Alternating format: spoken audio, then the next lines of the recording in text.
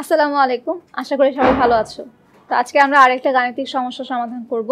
এখানে আমাদের কোশ্চেনে বলা আছে যে ফিফটি মিলিলিটার কপার সালফেট দ্রবণে অতিরিক্ত পটাশিয়াম আয়োডাইড যোগ করে বিমুক্ত আয়োডিনকে ট্রাইটেশন করতে সোডিয়াম সাল থায়োসালফেট দ্রবণের থার্টি ফাইভ মিলিলিটার প্রয়োজন হলে উক্ত কপার সালফেট দ্রবণে কপার আয়নের পরিমাণ নির্ণয় করো।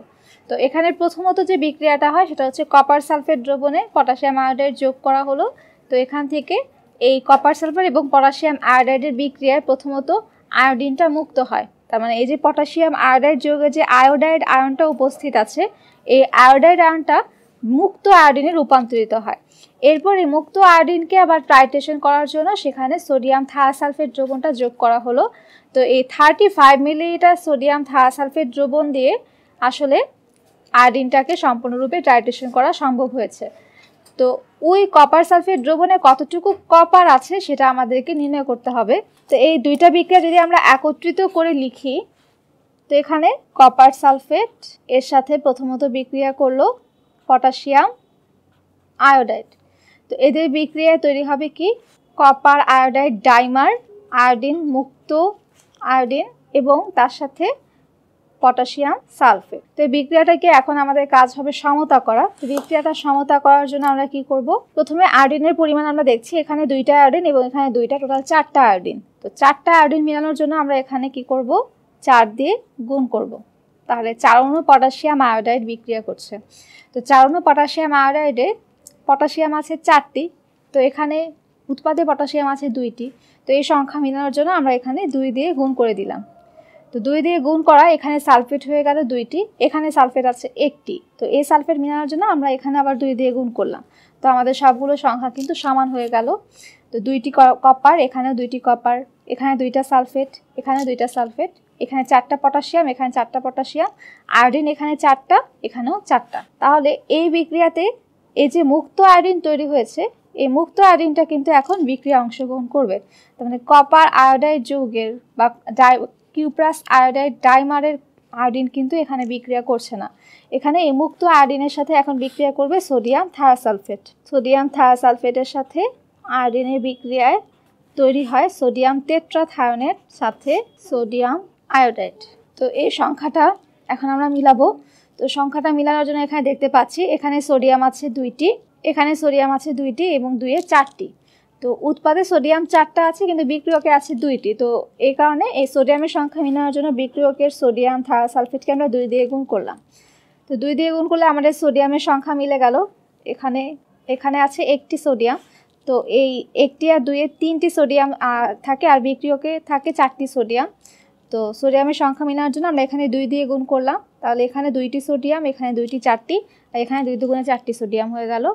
এরপরে টেট্রাথায়নের আয়নের মধ্যে সালফার আছে দুইটি এবং অক্সিজেন আছে তিনটি। তো দুই অণুতে সালফার আছে চারটি, অক্সিজেন আছে ছয়টি। এখানেও থায়োসালফেটে আছে হচ্ছে দুইটি, তিনটি, টেট্রাথায়নেটে আছে চারটি এবং ছয়টি। তাহলে দ্বিগুণ পরিমাণ কিন্তু এখানে মিলে গেছে।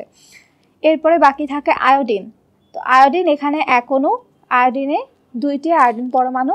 আর এখানে দুই অণু সোডিয়াম আয়োডাইড যোগে দুইটি আয়োডাইড আয়ন, অর্থাৎ আয়োডিনের সংখ্যা কিন্তু মিলে গেল।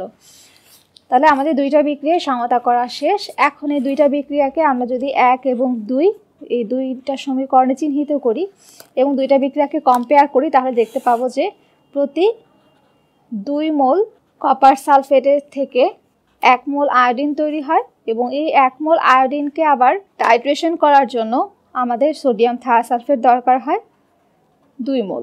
এখন সেই হিসেবে আমরা লিখতে পারি যে প্রতি দুই মোল সোডিয়াম থায়াসালফেট থেকে দুই মোল কপার আয়নকে টাইট্রেশন করা সম্ভব। অর্থাৎ এই দুই মোল সোডিয়াম থায়াসালফেটের দ্রবণ দিয়ে যে আয়োডিনটা প্রশমিত হয়, সেই আয়োডিনটা আবার বিক্রিয়া করে হচ্ছে এখানে কপার সালফেটের উল্টাভাবে যদি আমরা চিন্তা করি আয়োডিনটা আবার কপার আয়োডের সাথে বিক্রিয়া করে কপার সালফেট তৈরি করবে বা কপার আয়ন তৈরি করবে।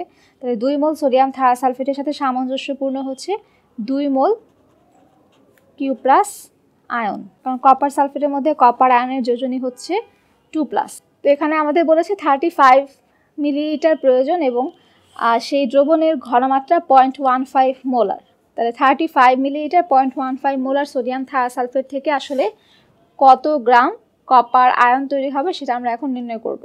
এখন এই দুই মোল সোডিয়াম থায়োসালফেট এটা দিয়ে যদি আমরা দ্রবণ প্রস্তুত করি ওয়ান লিটার বা ওয়ান থাউজেন্ড মিলিলিটার তাহলে এক লিটার দ্রবণের মধ্যে দ্রব থাকবে দুই মোল এবং সেই দ্রবণের ঘনমাত্রা হবে টু মোলার তো এটার বদলে আমরা লিখতে পারি যে প্রতি one thousand millilitre two molar sodium thiosulphate is equivalent to two mole cupric ion বা কপার টু প্লাস আয়ন তাহলে এক হাজার মিলিলিটার টু মোলার থেকে কপার আয়ন তৈরি হয় দুই মোল। তাহলে thirty five millilitre point one five molar thiosulphate থেকে কতটুকু কপার আয়ন তৈরি হবে? তাহলে কপার আয়ন এখানে তৈরি হচ্ছে zero point zero zero five two five mole copper ion তাহলে আমাদের কোয়েশনে বলেছে যে, উক্ত কপার সালফেট দ্রবণে কপার আয়নের পরিমাণ নির্ণয় করো। তো আমরা যে মোল পরিমাণটা সেটা নির্ণয় করলাম। এখন এই মোল পরিমাণটাকে আমরা গ্রামে হিসাব করব। অর্থাৎ কত গ্রাম কপার আয়ন সে কপার সালফেট দ্রবণে উপস্থিত ছিল? তো আমরা জানি এক মোল কপারের ভর হচ্ছে sixty three point five gram. তাহলে এক মোল কপার আয়নের ভর যদি sixty three point five gram হয় point zero zero five two five mole copper আয়নের ভর কত হবে? অতএব point zero zero five two five mole copper আয়নের ভর sixty three point five into zero point zero zero five two five gram. অতএব zero point three three gram copper ion অর্থাৎ উক্ত কপার সালফেট দ্রবণে কপার আয়নের পরিমাণ ছিল zero point three three gram. তো আশা করি আজকের এই গাণিতিক সমস্যার সমাধানটা সবাই বুঝতে পেরেছ। সবাইকে অসংখ্য ধন্যবাদ ভিডিওটি দেখার জন্য।